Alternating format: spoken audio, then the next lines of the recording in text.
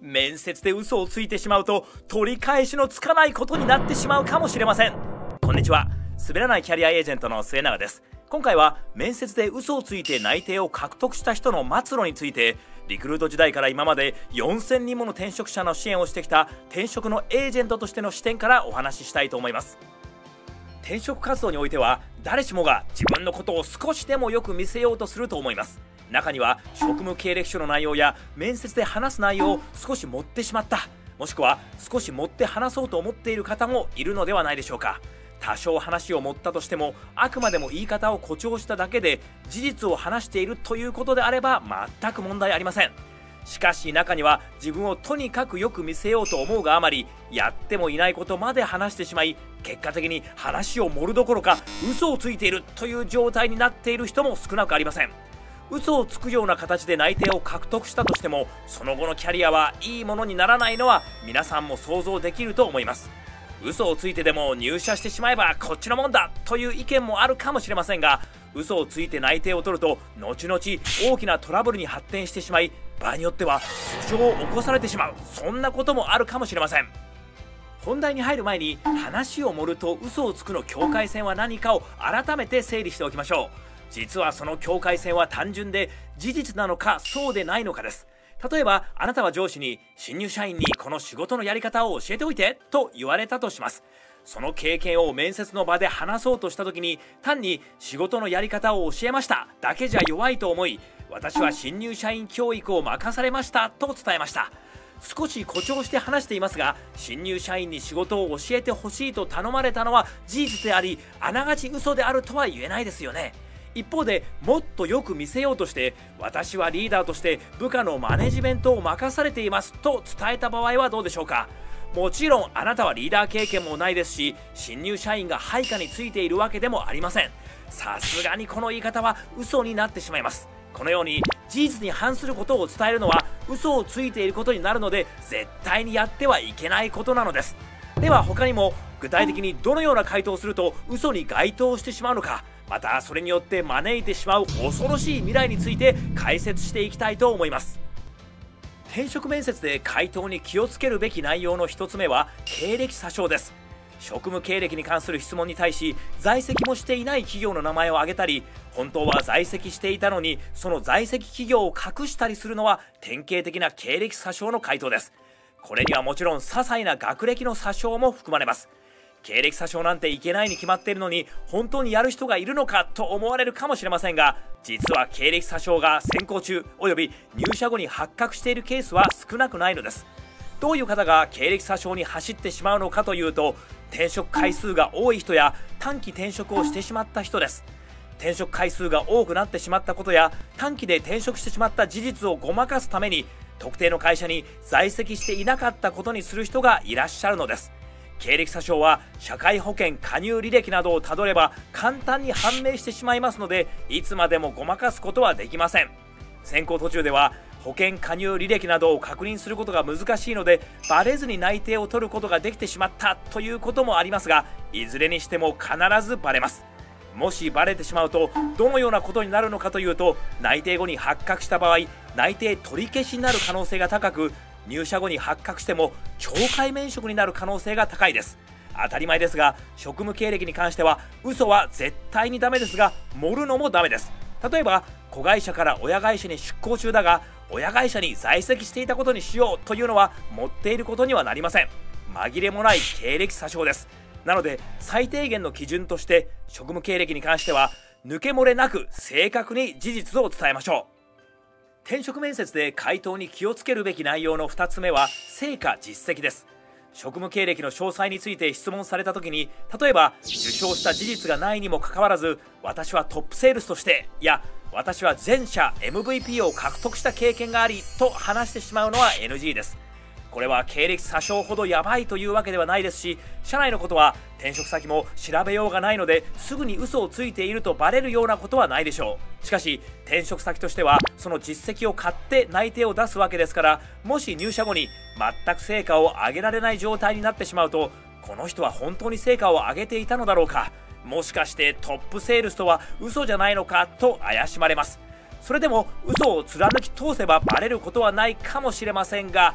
入社時点から期待値が高い状況になっているので高いノルマを設定されることも考えられますし目標未達ばかりで期待外れの人だと白い目で見られるのは自分もしんどいですよね。また経歴詐称ではないにしても虚偽報告であることは変わらないのでバレた時には内定取り消しや懲戒免職になるリスクは十分に考えられます。なので経歴詐称と同様に実績に関して嘘を伝えるのは絶対にやめましょう。例えばあるプロジェクトにメンバーの一人としてアサインされてただけでしたが社運をかけたプロジェクトで他のメンバーを引っ張りながら尽力し成功を収めることに貢献しました。と話すのは明確にリーダーとしていやそれによって表彰されたと言っていないのでギリギリ話を持ったの範囲で済むと思います。とはいえこれでもギリギリだと思うのであまりおすすめはいたしません。転職面接で回答に気をつけるべき内容の3つ目は転職理由です。転職理由は何ですか？という質問は原則どの企業でも聞かれる内容だと思います。しかし本当は現職への不満が爆発していたとしてもそのことを素直に伝えるのは気が引けますしマイナス評価になってしまうのではと心配になりますよね。なので仮に現職に対して大きな不満を抱えていたとしても現職に不満は全くなくやりがいを持っていましたがと枕言葉を添えるケースもよくあると思います。これは嘘かどうかというと厳密に定義すれば嘘になるかもしれませんが仮に嘘が発覚したところで何も問題にはならないのでこれぐらいの前職との波風を立てないための方便という認識で問題ないと思います。しかしこの答え方には一つ落とし穴があるので注意してください。現職の不満を伝えなかったがために転職先でも全く同じ不満が溜まってしまい結局すぐに辞めてしまうということが考えられるからです。もし現職での不満の内容を伝えていたら採用側もうちもそういう不満が発生しやすい職場や仕事ですよと伝えてくれる可能性もあったわけで事前にミスマッチを防げるというメリットもあります。もちろん言い方は重要ですが実は素直に転職理由を伝えた方がいい場合もあるのです。人間関係の不満を素直に伝えるのは避けるべきですが仕事の進め方や仕事内容に関することで不満を持っているのであればある程度本音を伝えた方がミスマッチも起きなくなると思います。また仕事の進め方や仕事内容に不満を持っていたことについては伝え方を間違えなければ採用企業側にもそこまでネガティブな印象を持たれることはありません。なので転職理由に関しては思ってもいないことで固めるのではなく次の会社でミスマッチが発生しないように時には本音を伝えることも大切です。転職面接で回答に気をつけるべき内容の4つ目は仕事への姿勢です。高い営業数値成果を出していた場合それをアピールする際に特に気をつけておきたいポイントです。なぜその成果を出せていたのですか？という質問に対して明確な理由があれば問題ないですが中には正直特に何も考えずに行動量をひたすら担保しているだけだったであったり特別工夫もしていないのにたまたまうまくいっただけだったという場合もあると思います。さすがにそのことをそのまま伝えるわけにもいかず例えば KPI を設定して逆算した上で各プロセスの目標数値を具体化し日間単位で管理していました。また顧客の課題に合致した提案ができるよう顧客ごとのセグメントを分類し優先順位付けを徹底していましたと後付けでもっともらしい理由を設定して伝えることもあると思います。実際の行動とは異なることを話しているので嘘と言えなくもないですがアピールするための対策として許容されるでしょう。しかしさらにその詳細を面接で突っ込まれた時にアドリブが効かずしどろもどろしてしまったら結果自滅してお見送りになってしまうリスクはあるのでもしそのような対策を取るなら寸分の隙がないように徹底してやりきりましょう。いかがでしたでしょうか？今回の動画の内容をまとめますと転職の面接で嘘をついて内定を獲得してしまうと内定の取り消し懲戒解雇会社からの期待値とのギャップなどのリスクが生じます。具体的には経歴を詐称する。成績や実績を過度に誇張する。転職理由を必要以上に隠す。仕事への姿勢を実態以上にいいものをして語る。上記のような回答には十分注意してください。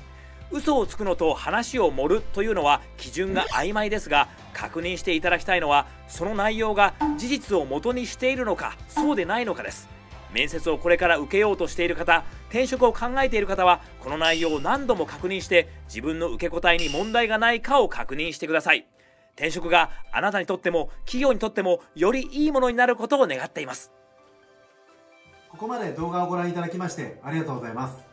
僕が経営するアクシス株式会社では理想のキャリアに向き合うキャリアコーチングサービスマジキャリと累計4000人以上の転職支援をしてきた滑らないキャリアエージェントを提供しています。また自分の市場価値を知りたいという人向けに無料の診断サービスを提供しています。概要欄に全てリンクを貼っておきますのでぜひチェックしてみてください。書籍キャリアロジック成功する転職面接も Amazon や全国の書店で販売してますのでぜひ手に取ってみてください。この動画が少しでも役に立ったと思っていただいたらぜひ高評価とチャンネル登録をよろしくお願いします。最後までご視聴ありがとうございました。それではまた次回お会いしましょう。